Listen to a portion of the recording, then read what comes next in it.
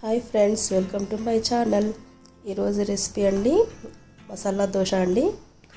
దీనికి నేను మూడు గ్లాసులు రైస్ తీసుకున్నానండి. దానికి వన్ గ్లాస్ మినప్పప్పు తీసుకున్నాను టీ గ్లాస్ శనగపప్పు తీసుకున్నాను ఒక స్పూన్ మెంతులు వేసుకొని మార్నింగ్ నానబెట్టుకొని నైట్ మిక్స్ చేసుకున్నాను.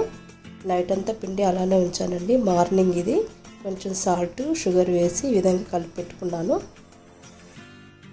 చూసారు కదండి? ఎయిట్ టు నైన్ అవర్స్ నానాలండి. బియ్యము మినపప్పు ఇప్పుడు దీనికి మసాలా అండి.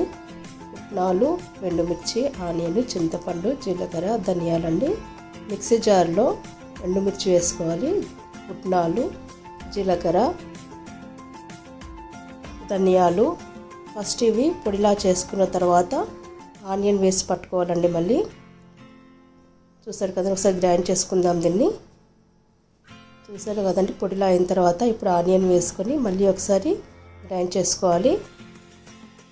చింతపండు వేసుకోవాలి కొంచెం వాటర్ యాడ్ చేసుకోవాలి సాల్ట్ షుగరు షుగర్ వేసి మళ్ళీ ఒకసారి గ్రైండ్ చేసుకొని ఇప్పుడు దీన్ని ఒక బౌల్లోకి తీసుకోవాలి.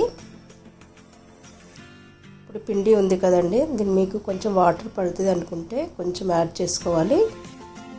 ఈ విధంగా కలుపుకొని పెనం మీద అండి రెండు గరిటెల పిండి వేసుకొని దోశలా స్ప్రెడ్ చేసుకోవాలి.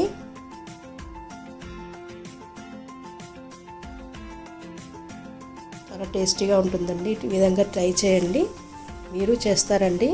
నా స్టైల్లో నేను చేశాను. మీతో షేర్ చేసుకుంటున్నాను. మసాలా ఉంది కదండి ఈ విధంగా స్ప్రెడ్ చేసుకోవాలి.